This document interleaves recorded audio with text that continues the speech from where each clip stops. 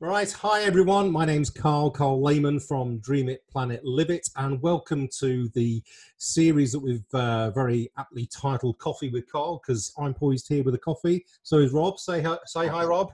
Hello, everyone. Hey, Karl. Thanks for having me. Oh, you're more than welcome. So, joining us on the uh, the web call today is Rob Austin from Commission with Permission. Now, anybody who's been following this series of uh, little videos that we've been doing is I've been talking to um, inspirational people, uh, people who are at the top of their games in terms of what they do. So, last week we had Steve Judge, who's a two times world champion triathlete, an amazing story there. But we've had lots of different people on the call as well. We've had uh, people who are doing special things, adapting their business in light of COVID and, and things along those lines. So Natalie Cash did something very, very special there.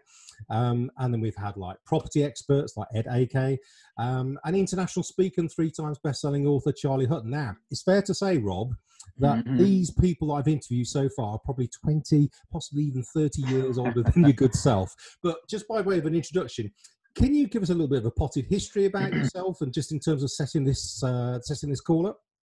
Absolutely, yeah. Because again, thanks for having me, and welcome to the boardroom, the sales boardroom. I'm still coming up with names, so any of the comments, any names is, would be appreciated. Yeah. So obviously, I've not been in the game probably as long as as the previous guests, and a great series by the way.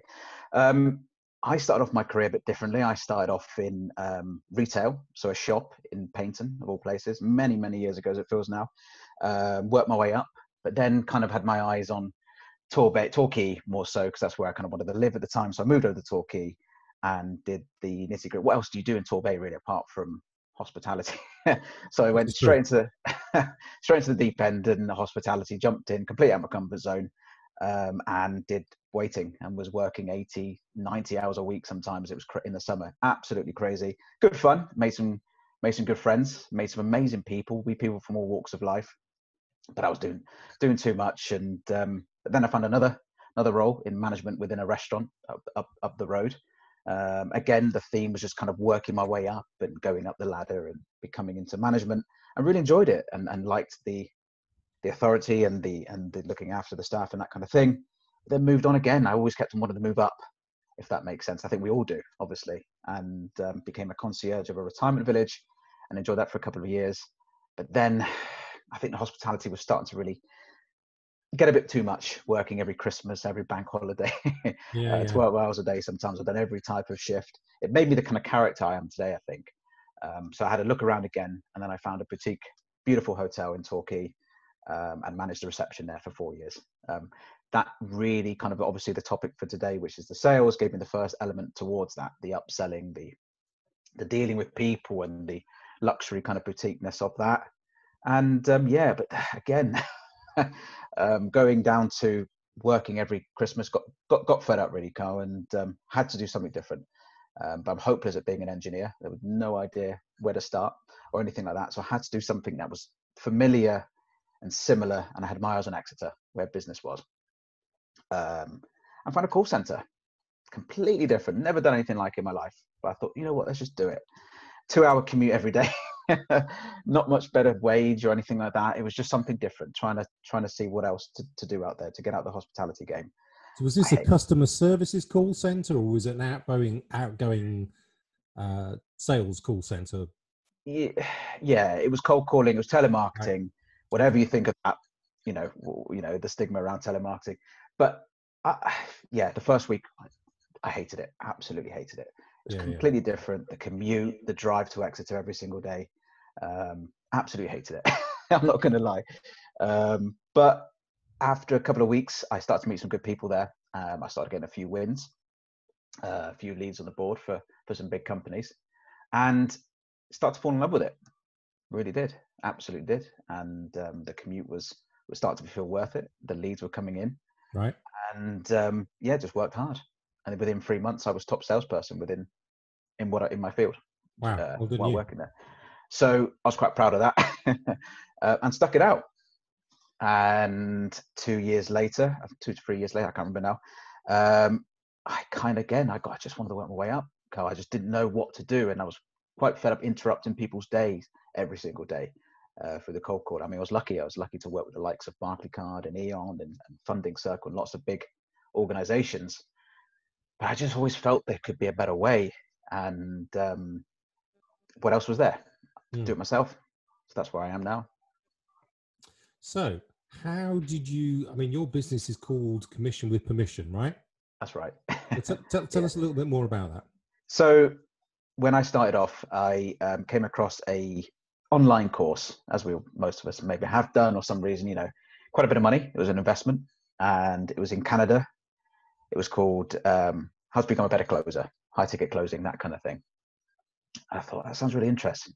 But the main concept was was the high ticket, which is big value deals. So not having to do so many with the cold calling, you have to hundreds and hundreds of calls, which was just sometimes a bit too much. But the high ticket meant one-off deals, higher value kind of things. Okay. So the course was at 2 a.m. in the morning because of the time difference, eight hours at night, and I was still going yeah. to work in Exeter at the time. It was a bit of a, it was a bit, bit of a nightmare, but it was good fun. Um, still getting leads on the board, which was good. Um, even though I was quite tired. But so I had my eyes on bigger, bigger value deals. So commission with permission. So working on a results basis only at the time, um, in the closing element. So that was kind of hopefully answers answers that question. So your ideal clients, what what what do, what do they look like? Who who do you work with, Rob? Oh, well, it's a good question. Um, so basically, I've changed my structure. So not only can I help businesses secure more closing opportunities, and get more sales across the line, I'm actually looking into teaching and found a consultancy in Plymouth that I'm helping with their sales side. So they were an outsourced financial directors. I'm doing their sales consultancy. So I'm helping their clients achieve more sales uh, through my sales days in this room. um, so the ideal client really, Karl, is professional based services, really. People who have a great message, a great story, a great service but unfortunately, sales has to be done, whether we all like it or not. We, if you're wanting customers to buy your service or product, you're talking to customers, you're you're in sales. That is sales.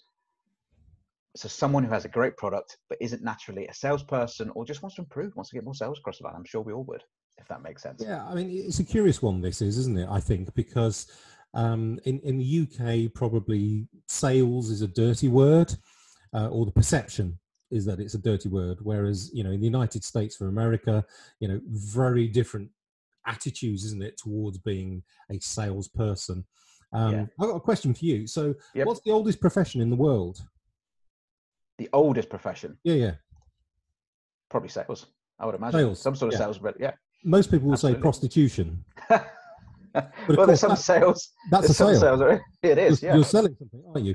So when people say, yeah. "I don't believe in sales," well, nothing happens unless something happens, right? So oh. unless uh, you know a sale is made, there's no widgets that are manufactured, there's no service that's provided. So, arguably, sales is probably one of the most important aspects of any business, if not the most important aspect of any business. In my humble one opinion, of the issues, yeah. Go on, sorry, Rob. I was going to say, uh, for me, it's the lifeblood. I mean, what happens when no sales are done? Who's paying right. the bills? Who's paying? Who, how the family surviving? Who, how's the company going? How's the customers being served? Without sales, it truly is the lifeblood. Exactly right. Yeah, Ex- expand on that. So when you say lifeblood, go on. What, what, what do you mean by that exactly? Well, in my opinion, I mean, as I said, if if sales aren't being closed, if sales aren't being maintained, if sales aren't being chased up, if sales aren't being followed up, who's paying the bills? Who's paying for the, the fancy office? Who's paying the, the the staff salaries? Who's paying for the marketing? Who's paying for the anything? Yeah, yeah. Is is done for a sale. Yeah.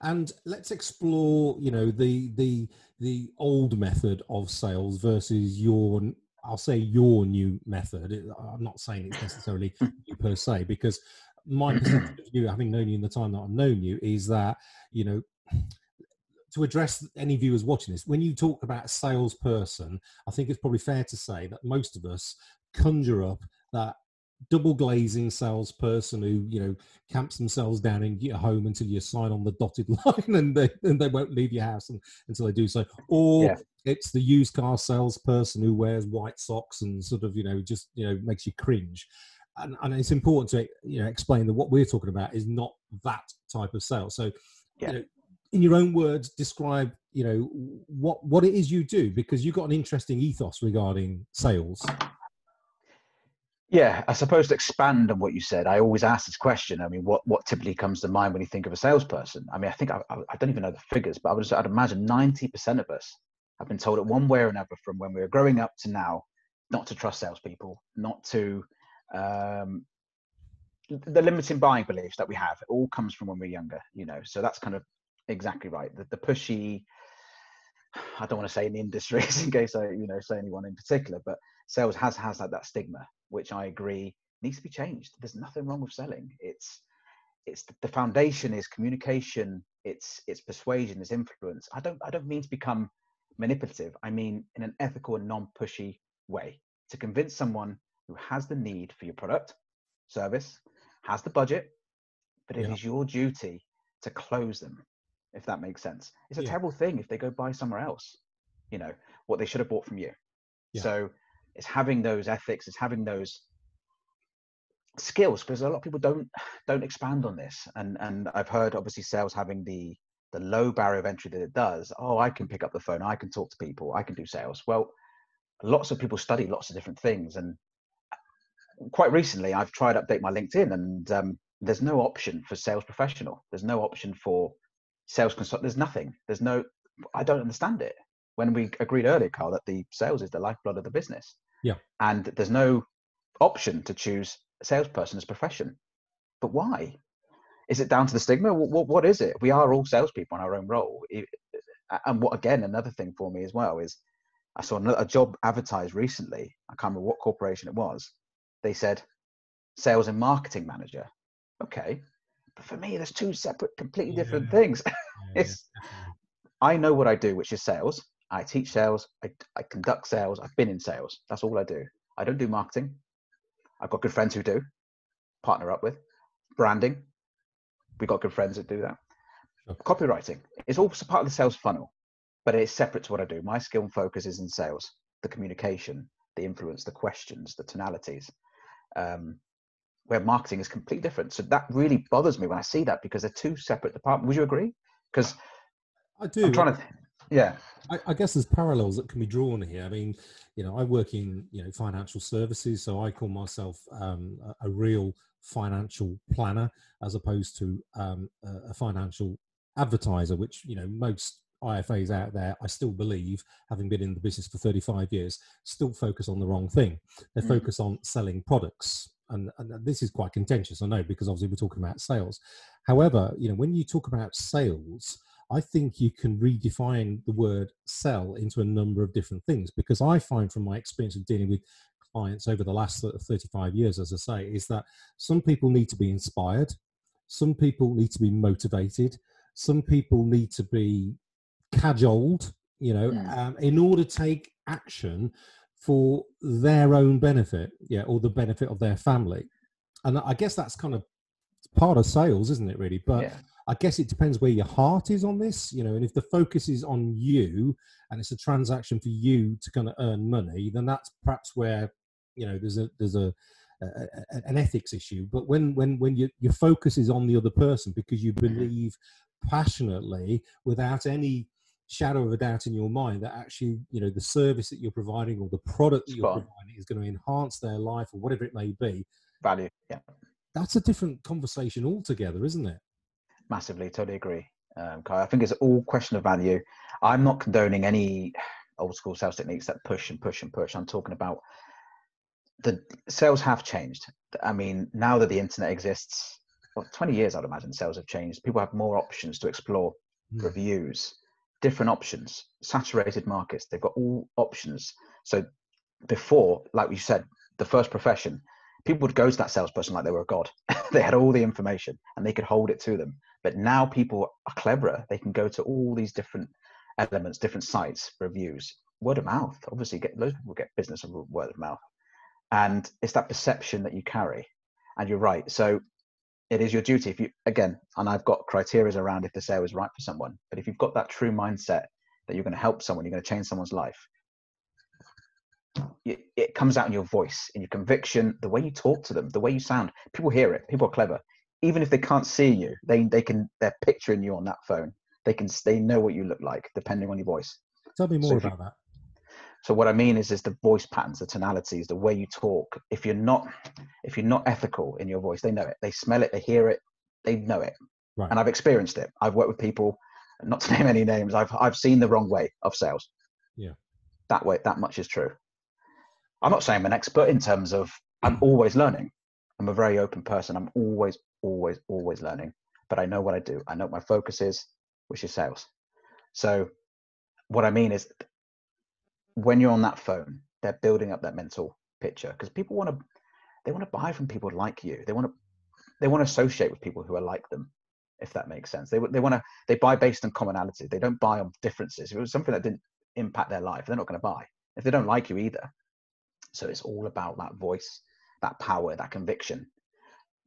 Not to digress, but going back to the beginning of the mindset you have that you can benefit people's lives. It comes out in your voice, 100%. Absolutely. And it's an interesting one, isn't it? Because I've got your little crib sheet here, and you say people don't buy what you do, they buy why you do it. So, yeah. T- talk us through that thinking.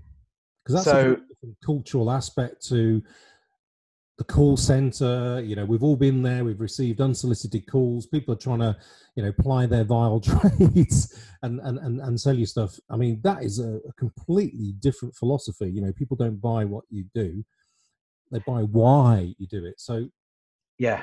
let's unpack that.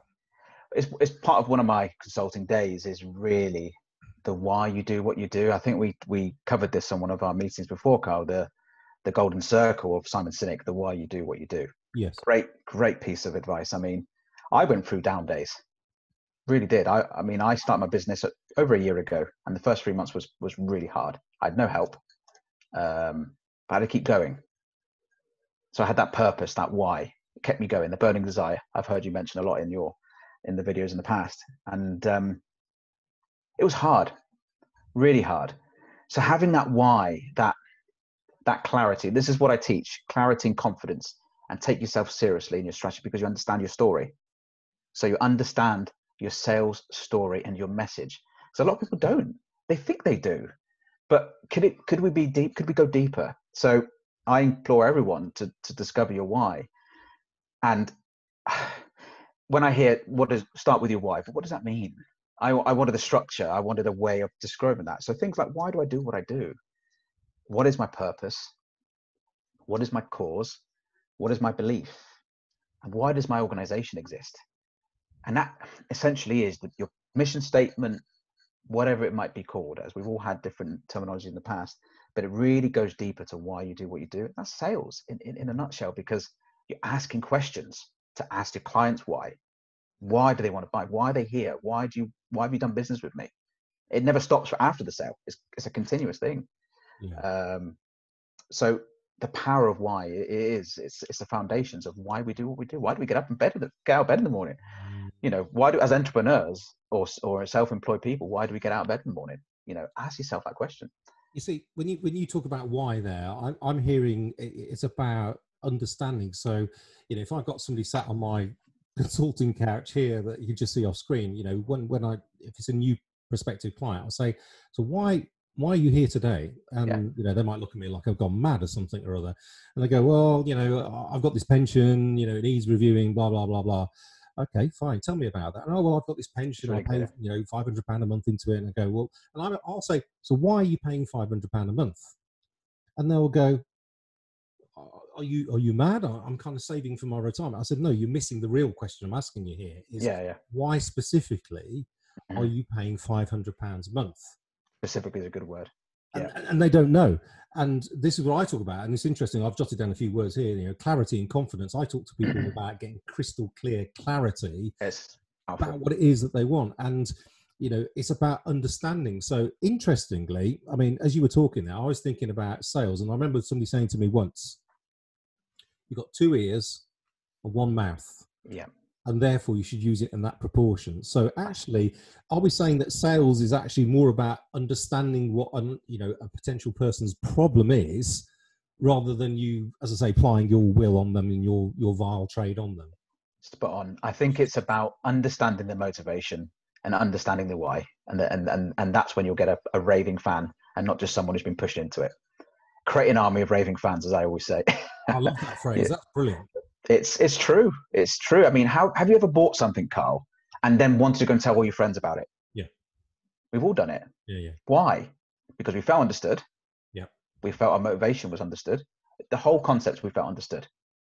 They were like us. We they understood us. They put us back in control. Because a lot of people, when you have concepts and structure around something, again, I always ask this question as well, and I heard it from Jordan Belfort, massive, obviously biggest sales guru in the world. Um, he says, close your eyes and picture a restaurant. And he says, bring your wife with you, or whoever it may be, your husband, whatever, whoever it is, a best friend. Yeah. Candlelit, drinks, wherever you want to be in the world, the best cuisine, the smell, smell it all. And he said, now everyone open their eyes. And he said, I bet who in the room thought of McDonald's? Well, obviously no one. so if you did, I'd be a bit worried. But there's a reason why I'm saying, Karl, because McDonald's is the most successful restaurant, as we all know, it is a restaurant in history. Yeah. It ever will be. Even if it's closed for three months, I bet it's still it will make its way, it will make it back up. Um, and what I mean is, is because it has a structure. It's a simple, easy, concise, clear strategy that even a 16 year old or anyone could go in and manage it. No problem. It works. Yeah. It goes really well. So what I'm trying to say is having a structure, and that's what I do. I give business owners back a structure, sales strategy that's clear and concise that can work within your business and give you that clarity. Like you do in your, we all, I think we all do clarity as long as we're clear on our own. How can I be teaching clarity if I'm not clear on myself? That's kind of what I'm trying to say. Oh, for sure. You've got to be authentic, 100% authentic in terms of what you do. Um, you, you, talk about structure there, and one of my favorite phrases that if you watch the videos back, you'll probably hear it. I, am sure I've said it a number of times already, but most people aim at nothing and hit it with tremendous accuracy. Yeah. yeah? And, and, and it's because they don't have a structure or they don't have a plan or a path that they can follow. And mm. really, you know, what we're talking about here is I mean, where I'm going with this is there's a number of businesses, let's be pragmatic about it. There's a number of businesses uh, over the past couple of months or so that have really, really struggled. Yeah. Yeah. So they are struggling to survive. And therefore, we need to move these people in that survival state to kind of a point where they can actually thrive. So that being the case, you know, what are the top tips that you know you can give them? What are the strategies you know they can deploy? You know, as you see it, you know, how can you help? How can you help these businesses? I, I suppose the main question to understand is what, what, why, why is the, why have they given up? Right. I mean, again, this comes down to the clarity of what you do for your customers. If you've got a great product, a great service that really solves a real world problem, let's go back to the basics. Why do you do what you do? Yeah. Well, uh, uh, uh, okay. Let's look at a concise way of. I like to call it the power statement. Um, I'm trying to think of something relevant. Financial service. Why do people come to you, Karl? What What do people come to you? I'm sure you do. I think anybody in this, whatever, would know their why would be yourself. I mean, what would who would typically come to you for the service you offer? I, I guess people come to us because we are not your typical financial advisor or financial advertisers, I call them. So they tend to be owner managed business owners, company directors. They're very often busy, busy, busy, uh, running their businesses, but they don't have the time to learn everything else like this. And you know, the I guess the what they say to us in a number of different ways is, you know, they don't have a plan, they don't have a path.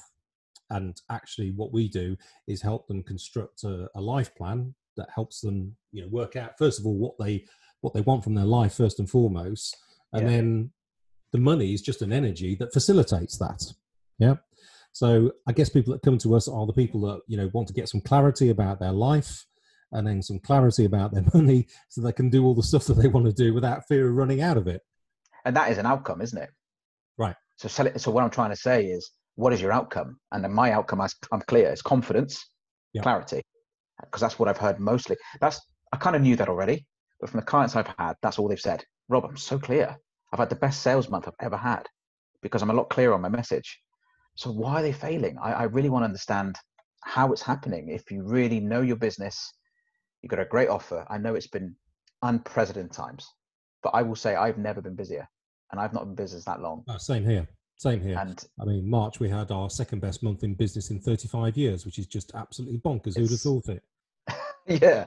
Um, so the question is, I don't know. I mean, why are we here? What, what's happened? Um, I, I, made an article a few months ago about the um, not burying your head in the sand and really get out there, advertise. Okay, furlough staff, but have somebody at least putting messages on LinkedIn, having Facebook social posts still happening, your name's still out there. People will remember it. Give value, give away some free books, some free video, some content, some something, just just something. I know it's easier said than done, but it is actually quite easy. We live in a world of golden age of technology. We can do anything we want. Um, we can speak to people in the US. We can wherever we want, you know, and and nothing's going to go back to normal. I'm sure you'd agree, Karl. I'm, I'm I'm for one. I love technology. I've always have done.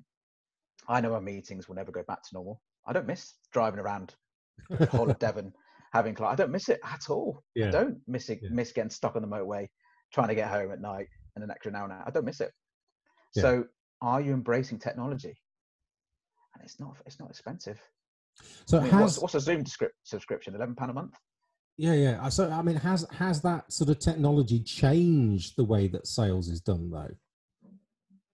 No, I wish I took shares in Zoom before it came on. I wish I did, or something. You know, um, in my opinion, no, because I've had people reach out to me in London, individual business owners, digital marketing agencies, that kind of thing. They've spent sales days with me. How could I have done that without driving all the way there, putting that cost on top of them and, and all these things? It was simple. It was done. We sat here for the whole day and did a sales day. I agree with you. So, so convenient the, the opportunities are, are endless. I mean, we, we, we've used Zoom for probably about seven years in, in my business, you know, primarily wow. for a team communication thing, because I got um, members of the team literally all around the all country. over, right? Yeah. Um, so we, we, we're very comfortable with it. But now, you know, I guess some of the barriers in the past were referrals coming through to other parts of the country. They don't exist anymore. I mean, we've picked up um, three or four new clients in London. Um, right. So easy to do it like this. Um, I got one in Scotland. Um, I got another one um, actually sort of in Hong Kong, who's, who's, living in Hong Kong at the moment, um, UK res, but um, actually sort of we can jump on a call like this, and you know away you go. You're away at the races. So how can people you know leverage? You know, I mean, I'm I'm just thinking we, the lockdown is now easing. Yeah, businesses are gently starting to go back to their their normal sort of work and and for a lot of service businesses we can still carry on as normal i mean we, we've been mm-hmm. open every single you know business day you know since since covid began you know we've yeah. never shut we haven't furloughed any staff you know we've just we've been busier than ever yeah so i think there's always winners and losers in any market conditions aren't there absolutely yeah so I, i'm just curious in terms of you know what you do and how you do it uh, who are the people that should be reaching out to you, Rob, and saying, actually, yeah. well, first of all, let's be clear. What, what what do you offer? Do you offer like sales training, or do you do the actual calls? Tell us all about that. So, so I'm always so I'm always defining my offer, and as I said, recently mainly is the consultancy, so the sales coaching. In as I said, in in in the room behind me, um, it really is. That's my that's where the heart is. I, I really get a kick out of helping business owners go through go for their sales strategy and their story and, be, and, and make them become the best salesperson of their business. Even if they haven't got a sale, if they've got a sales team, great, fine, whatever. Of course, maybe spend some time with them. Um, but I think the business owner does have to be their top salesperson. I think they they because they got to know their story, yeah. and marketing needs to know the story. Sales needs to know the story. It, it, it's the foundation of having a successful sales venture, which is again that pays the bills, like we mentioned earlier. Um, so my main offer would be the consultancy. Yep. So spending about six or seven hours in in in the room, and obviously having a break in between, going through that um, two to three days over a month or two months, whatever it may be, um, to really get to the nitty gritty. We'll also go through the mechanics of closing. So how to I've got a nine step process of how to close the deal. Um, again, for me, you hear sales gurus, sales mentors. There's 101 ways to close the deal and 200 ways to say this question.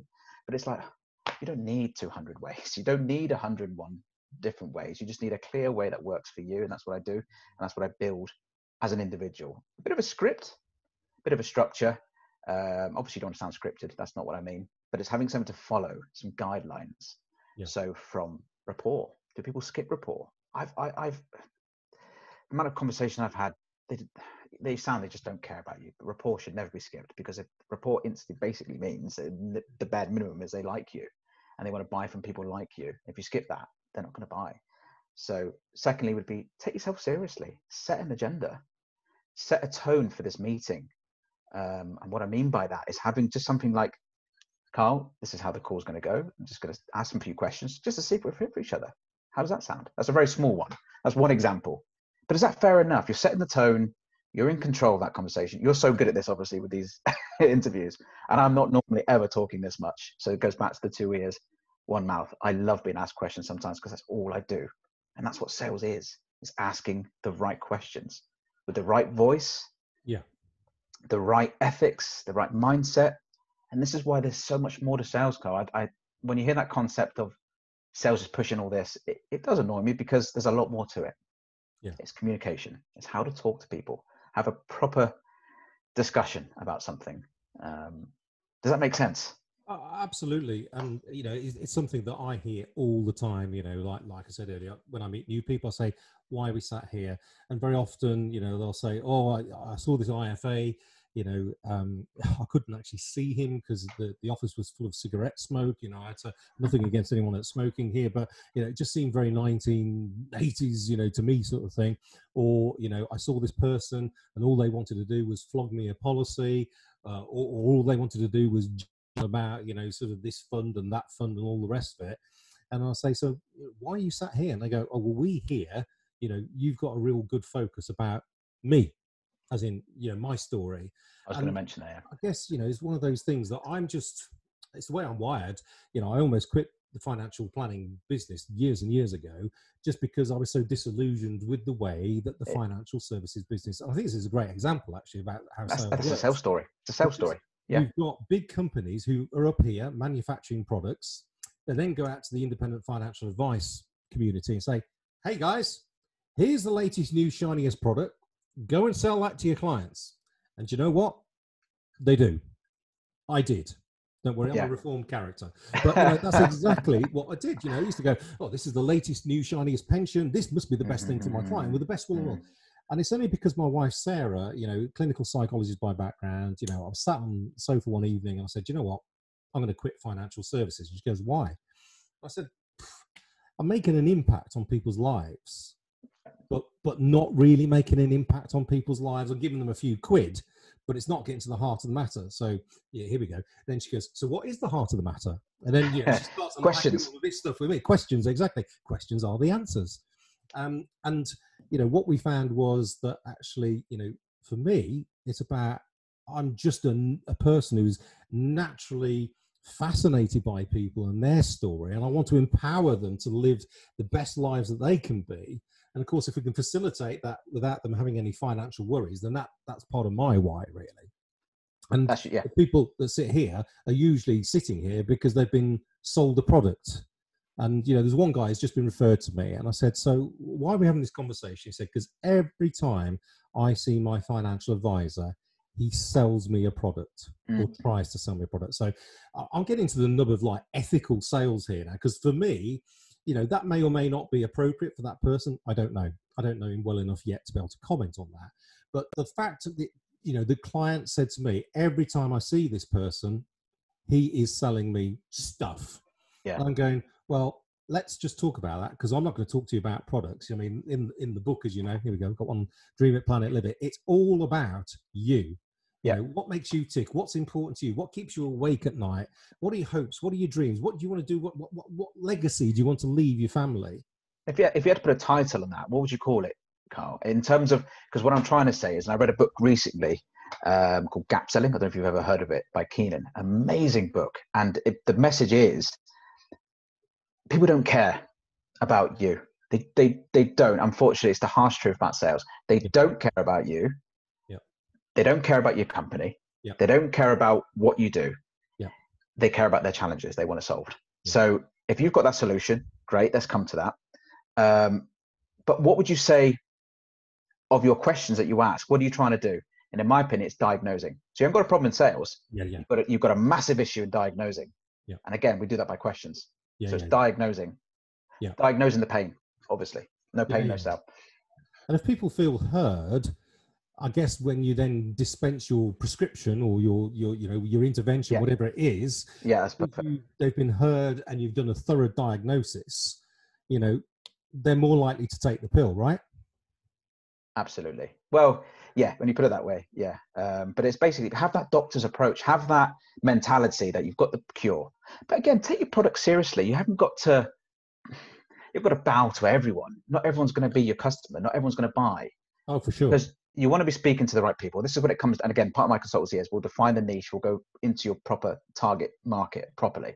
Because you might think your target market what it is, but it might not necessarily be. Can we be more specific? And that comes down to the why and how we can explore that. Um, but again, if you're if you're trying to sell to ten people, and those ten people were never going to buy from you, you're going to start thinking, I feel a bit, I feel a bit crap. Yeah. I feel, I feel crap. I'm not, I'm no good at it. I'm no good at sales. No, because they were never going to buy. So that can we be specific? Can we? That's all part of the sales story, and the niche. And a lot a lot of people say, I don't need a niche. Everyone's my client. When you get that big, maybe. But Mm. I think when you start off, even middle going on, define that target market and come to that niche. It's an interesting one that, and, and and I guess it's understanding where where you fit, and you know, as you know, you know, I get invited out to speak at different events and, and so forth, and I, I did one down here in Devon, and uh, I came off stage, and uh, anyway, one guy came up to me and said, um, he said, "Interesting talk, Karl." He said, "But do you realise you've just ostracised about eighty percent of the audience?" I said, "Hell yes." So what? Yeah, perfect. He said, "Oh wow!" He said, "Did you do that deliberately?" I said, "Yeah, because everybody everybody put their hand up in this room and said I want to deal with Karl Lehmann." I said, "I can't handle that." I said, "Well, what I'm looking for are a certain type of person, people who are Mhm. open-minded, willing to take advice, they're focused, they're driven, and and, and they they kind of get me." I said, "If everybody came running through the door, I said we we couldn't we couldn't cope." Yeah. And he said, "Oh, I thought you were just like being, you know, whatever." And I said, "No, no, no." I said, "There's a science behind it. I know where you know we can add value to people. Uh, I know my strengths and I know my weaknesses. And you know, at the end of the day, we just focus on our strengths, don't we? I mean, you've done that with, with with your sales, understanding exactly who you are. Well, I think, like I mentioned before, I'm not, I'm no marketer, I'm no brand development, I'm a salesperson. But where, where did you get these ethics from, though, Karl? Because obviously it's very similar to what I do and what I teach and what I what I look to do. And again, all I do is sales. I'm a sales athlete. I think I mentioned this before. You. Um, you, you, tennis player goes to Wimbledon. Do you think that they don't spend thousands of hours training for it? Of course they do. Course I do. I'm exactly the same as sales. That's how I treat it. It's an art form. It's it's a profession. It's sales. Where did you get? Where did you get out of curiosity your kind of ethics and knowledge of sales? Because it is what you do. You are a salesperson for your own business, aren't you? Absolutely, and uh, I guess you know it, it comes back from sort of my history, really. I guess you know I had parents. Dad was you know born in Germany. He caught the tail end of the Second World War. Um, you know, got captured as a prisoner of war, and ultimately Wow. ended up you know here in England. In fact, you know, he's quite a smart guy because he decided not to go back to Germany at the end of the war, which is a jolly good job he didn't, because all of the guys who did were taken off by the Russians and shot in a local forest. So I, I guess Dad's Right. history was one of being resourcefulness. So he started out Mm. working on the farm, then you know he started selling eggs, then he started you know selling sort of milk, and then he you know became a Kleeneze salesman. Then he was a sales manager. Then a, then he set up three new businesses of his own. And I guess I've just been brought up with that kind of mentality. But all the time, mum and dad's moral compass was always pointed in the right direction. And I think, you know, I always say this phrase children learn what they live. Yeah. Children learn what they live. So, you know, the fact that, you know, mum and dad had this kind of real kind of clear idea about what was right, what was wrong. And, you know, yes, you need to be hardworking, focused, and driven. Well, interestingly, that's my ideal client there, isn't it? Just having said that, you know, it's one of those things that it, it's about who you are. Those are your values. And I, I talk about this in the book, actually. And you and I have spoken about this, haven't we, in the past?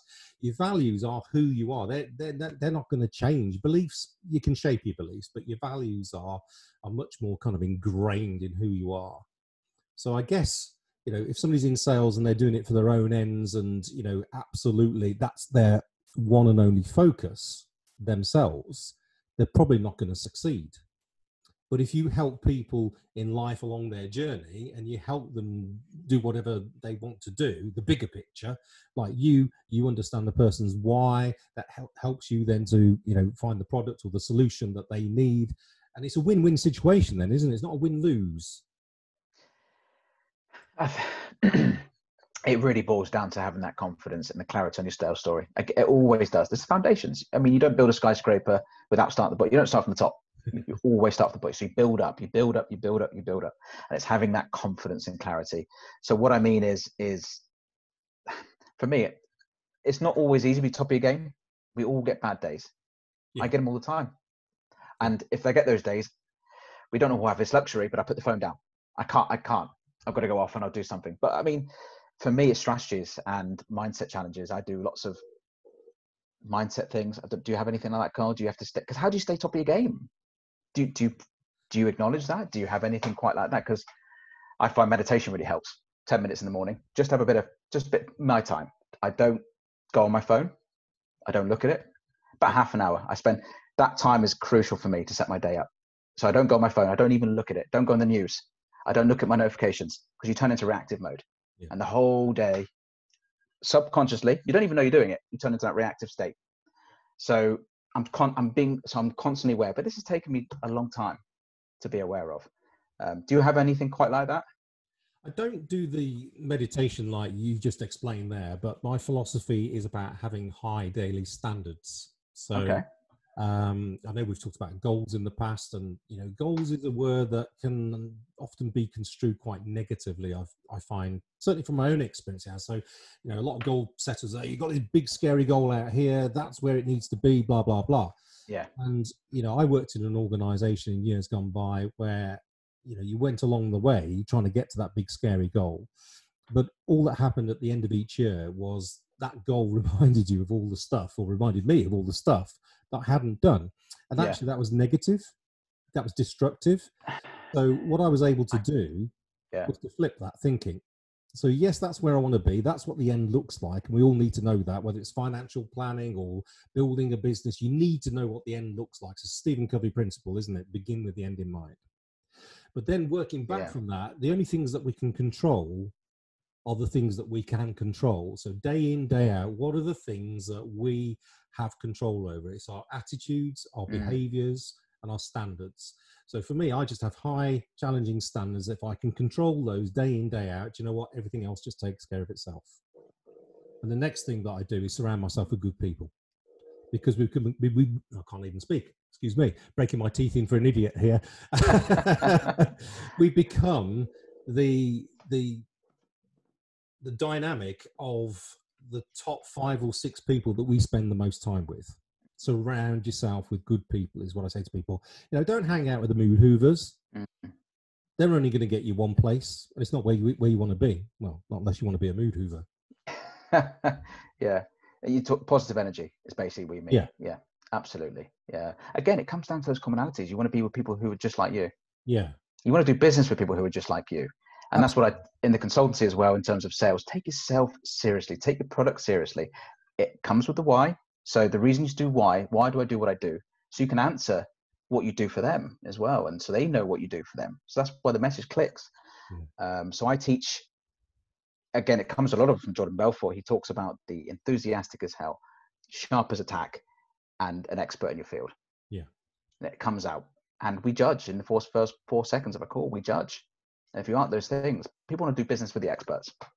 It's interesting, actually. Last week I was on a conference, a virtual conference, and it was for what we call life centered planners. So, in other words, proper financial planners who focus on life first and finance second. And there was um, uh, a clinical psychologist in America there. Both he and his dad are psychologists, um, as well as being certified financial planners. And they were really just saying that if you roll back the clock 30, 40 years ago, you know, people's time uh, attention span was I don't know, kind of this. Yeah, it was that kind of sort of level there. People's time attention span nowadays is this, and it's because of these devices. We get so many notifications was, yeah, pushed through. Yeah. and actually therefore you've got something like four seconds to you know gain someone's like impact and like you think exactly what kind of world are we living in that, that that's that's the kind of base level that we're operating to it doesn't happen overnight. That's the conviction. That's what I'm talking about. That's where it comes from the why. Why do I do what I do? It's all these things. It's then the the mindset thing. It's being top of your game. It's the words that you use, the way you say them. It's a power. It's the conviction that I am here to solve your challenge. But at the same time, as I was trying to say earlier, is take yourself seriously as well, because not everyone's going to be a customer. They want to deal with the expert, but the expert's busy. Okay. Yep. If you're going to spend an hour talking about the weather, you're not experts don't do that. So customers want to deal with experts and it's taking yourself seriously. Talk a little bit, build that rapport, but pull them back, put them back on the straight line, keep them from point A to B in the sales process without going up here and up down there. Um, so do you see what I mean? So it's that conviction that you're an expert, you're here to solve a problem, but not everyone's going to be a customer. You haven't got to do business with everyone anymore, if that makes sense. You could, that's when we come back to the raven fans. Yeah, I think that's brilliant. Raving fans are another word that people buzz around now is tribe. You know, who's your tribe? You know, are you, you know, are you are you getting the right people surrounded around you? Are the sort of people you know uh, attracted to you? So, yeah. in terms of anybody sort of wanting to reach out and talk to you about consultancy, Rob, yeah, what's the best way of them connecting with you? Yeah, best way on my website, commissionwithpermission.com. Um, I'm obviously on LinkedIn as well. Send me a message, and let's just find out if we if I can't help you, we'll come to that natural conclusion. There's there's no obligation. I just want to find out, have those conversations. If I really can, let's talk. But if not, it's fine. It's perfectly fine. You, you might just need to tweak something a little bit, and I can tell you that. But if it's worth a sales couple of sales days with me just to increase that top and bottom line and get more sales across the line, is that a cost or investment? That's kind of what my message is. It's, it's I'm going to guarantee, not guarantee, but I'm going to make sure we're going to get a return and get more sales across the line. Is there anything that you think that we, we we've not covered today that we should be covering? I think we've got the meaning, my opinion of sales, and I think we've got a very light-minded about that, solving problems, challenges. I like to say the word challenges now because what does problems actually mean? Because yeah. challenges we can overcome. Yeah. So, solving challenges through sales, um, the ethics of the why, and the sales story and the foundation, and my message is confidence and clarity. So I think we've pretty much covered everything. Unless you've got any more, it's it's really nice to be asked questions. That's what I said earlier, because that's all I do is ask questions all the time long, and you know it, it can get a bit. So it's nice to talk a bit more because I again, like you said, two ears, one mouth. The 80-20 rule: eighty percent them, twenty percent you. Yeah, and it and it doesn't happen overnight. Yeah, it's quite. I know how you mean that because it quite feels quite artificial sometimes to be kind of talking at the camera like this. Whereas when I'm with a client, you know, I'll say, you know, what's important about money to you, and you know, get them talking. All the money in the world, what would you do? You know, all this kind of stuff. And I'm all ears. I'm trying to capture every little word that they say, their tonality, um, and it's just really sort of finding that that that kind of area, really. So, um, yeah, that'd be really it, really good. Yeah, it's, it's it's taking them down that straight path of the sale and not jumping from question to question. Listen to what they say. Base your questions around what they say. So if they've said something, they've opened up to you. Yeah. Acknowledge it, use some of the words they've used and build a question around it. Some people just are clearly following the script and just asking a question after question, not listening. Yeah, yeah, absolutely. Brilliant. Well, I've got a little offer that I'm going to give to people today. You mentioned something about giving something away for free. Well, it's not quite free, but uh, I've, I've, got a limited. So the book here, I've got a limited supply of these books. Dream It, Plan It Live It, which is uh, number one bestseller. If you go to dreamitplanitliveitbook.com, slash offer. You can get a copy of the book for just literally a pound. I don't know how much longer I'm going to keep that offer up, but it's just something I've put up there during these times uh, to try and help people and inspire them. Um, as you can see, it's not the thickest book in the world, but I promise you that anyone who works through the actual um, exercise in that, it will help you get some clarity about who you are, you know, what you want to do, where you want to be, and that's part of my kind of giving back in terms of helping people, you know, support one another. And I guess you know you're offering in terms of you know having that kind of discovery call with you to see whether you yep. can help and support people is all Absolutely. part and parcel of that, isn't it? Spot on, and um, I think goes down to your attention span thing. I mean, communication has people are scared to get on the old traditional way of just speaking to someone over the phone, yeah. having a proper conversation instead of it's a text, it's an email. Yeah, it's it's. Uh, it's a, it's again it's someone else's agenda. Have a good old fashioned conversation. That's what i do. And if we're not fit for each other it's perfectly fine. It's perfectly fine. Rather than having one of those long drawn up maybes you never hear from them again. Yeah. Just tell me. It's perfectly fine. That's closure. It's done. Um, and that's what i teach as well. Rob it's been brilliant having you on the call. Yeah it's been a great. it's been really good. spending the time with us. Um, i really do recommend anybody who's watching this who needs some kind of help uh, with their sales processes. You know, don't don't don't be sort of shy. You know, reach out to Rob. So LinkedIn, Rob Austin uh, is the guy to get, connect with there, and the website is Commission with Permission. Is that right? Com, yeah. Permission with permission. Reach out to it's Rob. a mouthful sometimes. It is. Yeah, I tried everything, CWP.com, everything, but it was all taken. So Brilliant. Um, I, so- I, can thoroughly recommend Rob. He, he- he's really top of his game. Uh, in in his past life, obviously working in you know the hotel trade, he's, he's had to deal with every range of person, right? You know, Yeah, from, that's uh, pretty much it. people right at the bottom of the tree in terms of the you know in the in the hospitality business to all the kind of sort of you know every nationality as well. every nationality. every nationality as well. Yeah. Well, thanks for spending the time, Rob. Great to see you today. Thanks very Thanks, much, Karl. and uh, we'll see you soon. Take good care. Stay safe. Thanks, Karl. See you Yeah. soon. Bye.